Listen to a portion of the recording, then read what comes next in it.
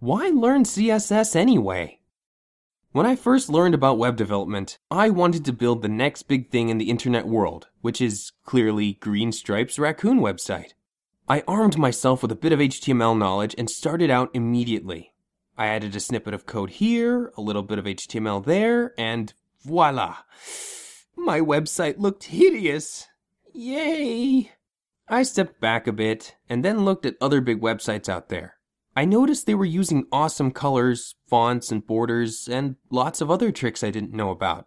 I investigated for two whole seconds and discovered they were using a magical code language CSS.